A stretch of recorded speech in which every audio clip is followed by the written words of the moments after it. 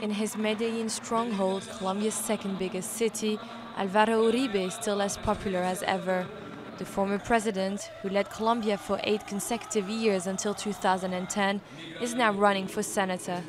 His campaign looks like a crusade against his former defense minister and successor, Juan Manuel Santos. Uribe accuses him of ruining the hardline policy he had adopted against leftist FARC rebels and of fostering a climate of increased insecurity. El país ha vuelto a sentir que crece el secuestro. The country is going through an increase in kidnappings again. We had gone from a country with 3,000 hostages to a country with a very small number of kidnappings. Last year, it started to rise again. Volvió. Uribe has taken aim at the peace negotiations underway in Cuba that are trying to bring an end to the 50 year Marxist rebellion. One idea on the table would be to give FARC members political representation.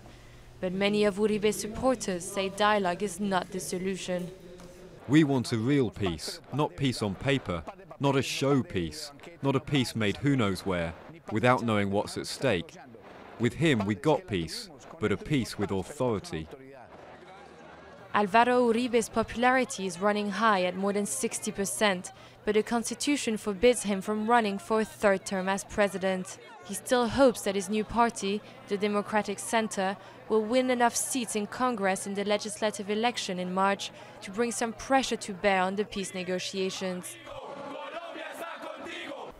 Si Santos es reelegido, con seguridad que Uribe se puede convertir en, en la figura de la oposición. If Santos is re-elected, Uribe can become the opposition figure, a great opposition figure.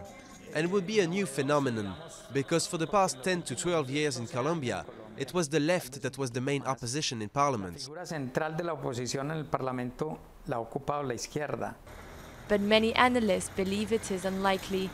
For as much as some miss his hardline tactics, others remember the brutality of his methods and the number of civilians who were caught in the crossfire. And for the moment, polls show that most Colombians still want to give peace talks a chance.